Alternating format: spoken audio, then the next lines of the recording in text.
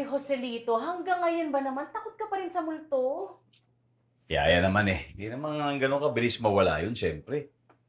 Dapat kasi sa buhay ka natatakot at di sa patay. Tingnan mo nga yung mukhang to, nakakatakot ba to? Ayan naman eh. Alam mo mula bata ka, seryoso ka na masyado. Binibiro lang kita eh. Eto, natatandaan mo ba to? Oh. Na ginagawa ko sa tuwing natatakot ka ng bata. ayaw ko yan, ayaw ko yan, ayaw ko. Uy, huwag yan! Mo? Ano nangyari sa'yo? Parang binubulati ka. Eh, kinikiliti lang ako ni Yaya Maning.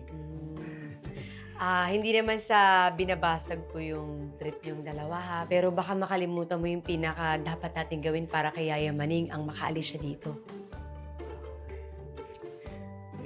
Kung gaano ko na-miss si Yaya Maning eh. Mm-hmm.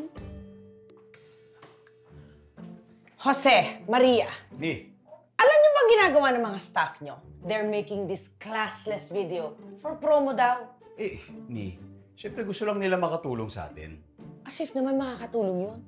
Ah, Mo, Mami Janice, kalma lang kayong dalawa ha. Ni, alam nyo kasi, kung mas open-minded lang sana kayo, edi sana nakikita nyo yung effort ng staff natin. Na ang gusto lang nila iangat ang Bonggam Villa. I don't need open-mindedness. I need results. Ma, kalma lang kayo. Cool. Just, okay masyadong uptight. Parang, parang si Yaya Maning. Cool lang. You're still comparing me to Yaya Maning? Eh, matagal na siyang wala eh. Eh, mahirap naman talaga siyang kalimutan dahil magmula bata pa ako, siya lang ang nandyan para sa akin.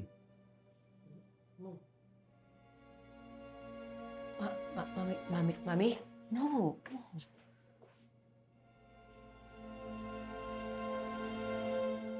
Eh, Yaya Ming, ano bang, ano bang unfinished business na sinasabi mo?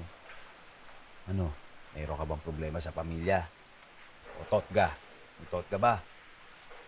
O baka naman may pinapahanap ka na kailangan mo lang hanapin, sabihin mo na sa amin. O ano, ba't di ka nagsasalita dyan? Ba't ang tahimik mo? Ano yung nagsasalita ka? Dadating ko lang. Nabangga pa nga ako dun. Ay, mo, sorry. Kausap ko si Yaya Maning. Na. Kahit kailan, hindi kita tinuruan na sumagot sa mami mo. Ang laki-laki mo na, dapat alam mo na yan. Kasi naman eh... Wala ang kasi-kasi. Wala. Hindi mo ba naiisip kung bakit sinisiksik ng mami mo ang sarili niya sa business niyo? Para sa'yo, Joselito. Isipin mo lahat ng panahon na pumapasok siya sa trabaho kahit na may sakit siya.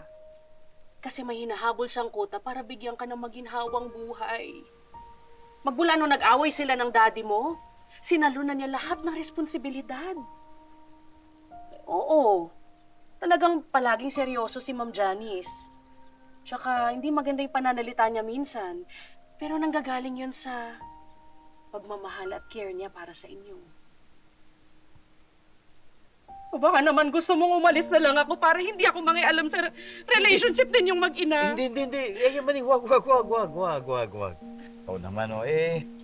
Alam ah, ah, alam ko naman na mali ako eh. Pero, siyempre, alam mo, hindi ko naman alam kung kung anong gagawin ko, di ba? Tsaka, bigla lang naman ako. Baka yun ang kailangan para makaalis na ako sa... Gu- gusto mo kami makita ni Mami na magkaayos? Pa- para makapag-move on ka na. Yeah. Yes. Mo, anong pinag-uusapan niyo? Sabihin mo naman sa akin kasi natutuin na ako ng laway eh. Ano daw? Ah, kaya, ganito kasi yun. Okay. Tinanong ko siya kung may problema ba siya sa pamilya o kaya may tot. Anytime, anyone, anyhow. Halika manood at sumigaw. Anywhere